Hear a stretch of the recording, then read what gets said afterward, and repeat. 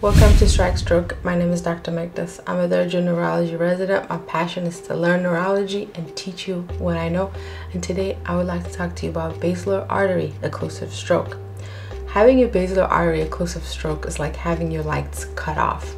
It carries 85 to 95% mortality rate. But why? So let's try to understand the reason. What area of the brain does the basilar artery supply? The basilar artery belongs to the vertebrobasilar system, which feeds the back of the brain. The two vertebral arteries coming from the right and left come to join in the back of the brain to form the basilar artery.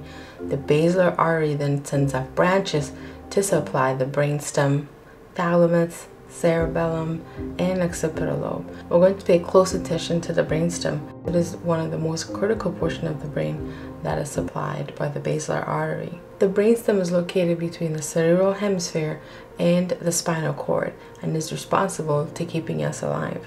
It contains 10 of the 12 cranial nerves. It regulates what seems to be automatic, such as breathing, swallowing, and our heart rate.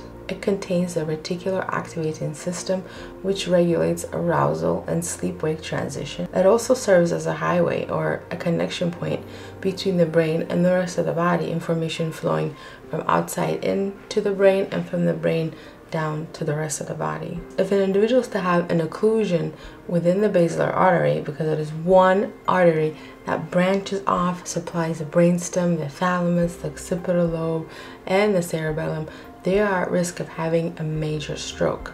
They are at risk of losing the ability to function independently, such as to be able to breathe on their own, to be able to swallow independently, to be able to regulate their heart rate and their heart function independently.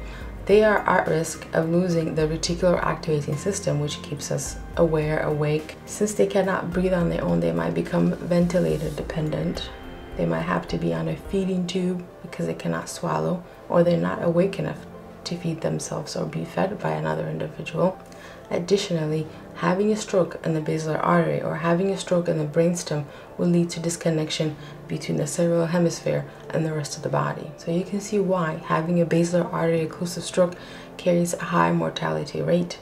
And we can conclude from this that we don't really need much of the cerebral hemispheres to be alive I guess the definition of alive might differ from one individual to another, but to be alive in its simplest form would be to be able to breathe regular heart rate.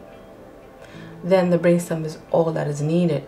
But if we want to be ourselves, be an individual that has perception of the world, react, emotion, form memories, enjoy life, food, love, etc., we do need the cerebral hemispheres in combination with the brainstem to be able to do all these things and be a unique individual like we all are.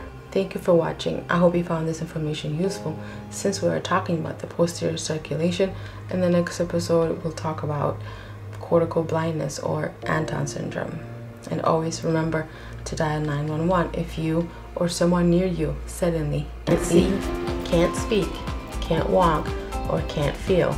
Let the operator know that you or someone near you might be having a stroke so that you or the individual near you can be transported to the nearby comprehensive or primary stroke center for rapid stroke analysis and tailored treatment.